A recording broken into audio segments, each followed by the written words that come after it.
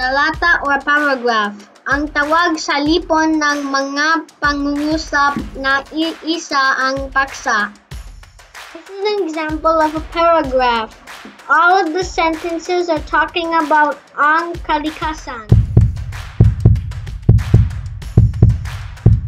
In writing a title, we always remember that words should start in capital letter except for nang, ah. at, na, nang, ang, sa, mga. Now I'm going to show you a correct way of writing a title. Three, two, one, go!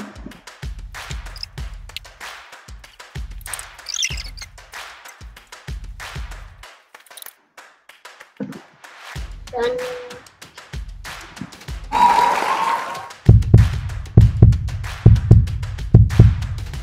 Mga uri ng talata. Talatang nagpapaliwanag. Nililinaw na mabuti ang kaalaman upang maunawaan ito ng bumabasa. This is an example of talatang nagpapaliwanag. This sentence here, they explain about the pot. Talatang naglalarawan. Naglalahad ng naramramdaman o naiisip sa pamamagitan ng paggamit ng mga panguri. This is an example of talatang naglalarawan. These underlined words are adjectives used to describe the dalaga.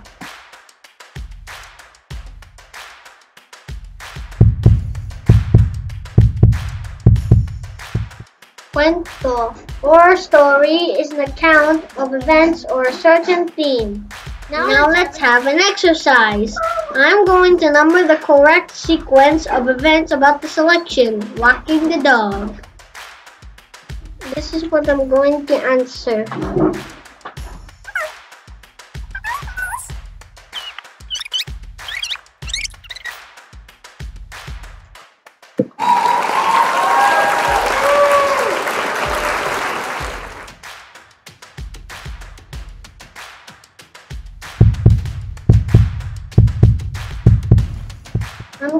Show you the five parts of a letter. Pamuhatan. This is the address of the person who is writing the letter. It also has a date. Bating Panimula. This is who you are writing to. Katuwang Nangliham. This is what you are going to write on the letter. Bating Pangwakas. This can be your friend or your best friend, whatever you want to call it. And Lagdag. This is the person who wrote the letter. I'm going to show you how to fill out an envelope. This is a stamp. This is the name and address of the person who's writing the letter and this is the name and address of the person who you are sending it to. There are three kinds of a letter. First is Liham Paanyaya. This is an invitation letter and it has three elements. 1. Occasion 2. Time and day of the celebration and 3. Place of the celebration and this is an example.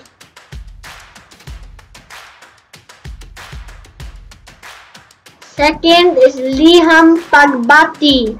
This letter is about congratulating someone for an award or success. And this is an example.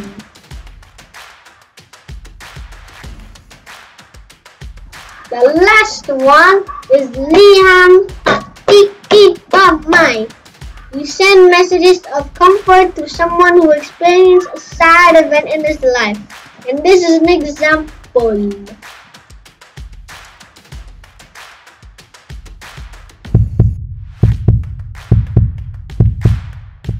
antig or syllables. Ang tawag sa isang bugso ng tunog. Let's do some exercises. In this exercise, I'm going to cut the words into syllables and write how many syllables in these boxes. And let's get started.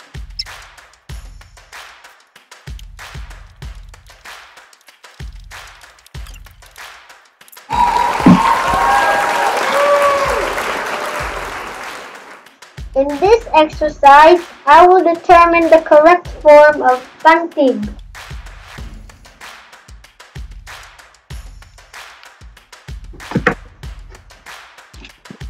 The K stands for katinig and the P stands for patinig.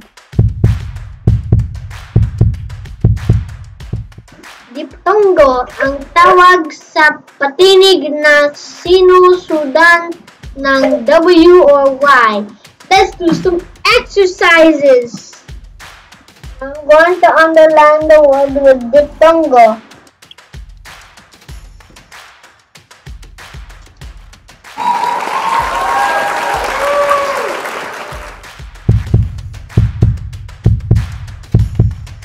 Cluster ang tawag sa magkasunod at magkaibang tinig sa isang pantig ng salita.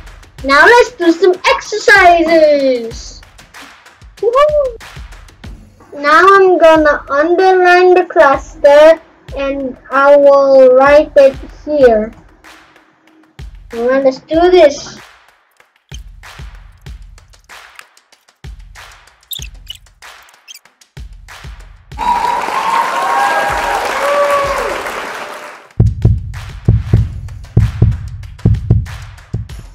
Pangalan Ang tawag sa ngalan ng tao, bagay, lugar, pangyayari, o hayop.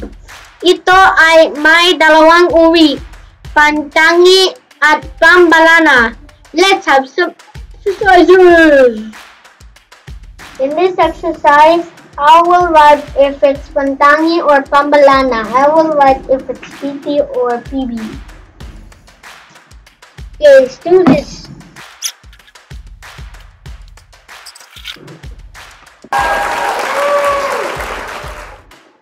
Mayroon ding apat na kasarian ang pangalan. Panlalaki, pambabae, ditiyak, at walang kasarian. In this exercise, I'm going to determine if the word is PL, PB, DT, or WK. Let's do this.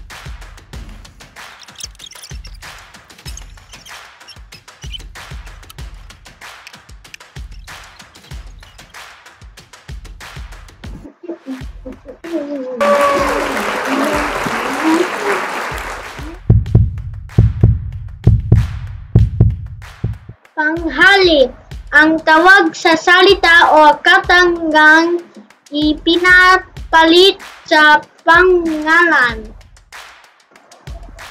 May tatlong uri ng panghalip.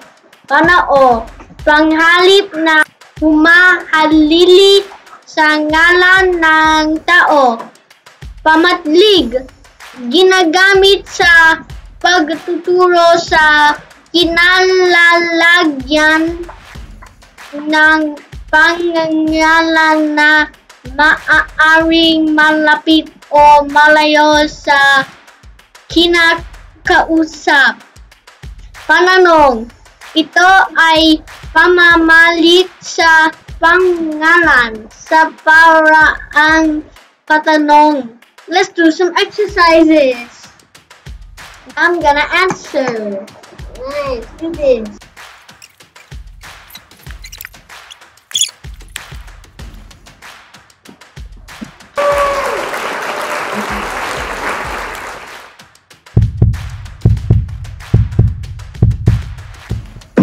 Pagdiwa ay salitang nagsasaad ng kilos. May tatlong uri ng pandiwa. 1. Naganap or past. 2. Nagaganap or present. And 3. Magaganap or future. Let's do some exercises. Woohoo! Now I'm gonna do the exercises. Let's do this.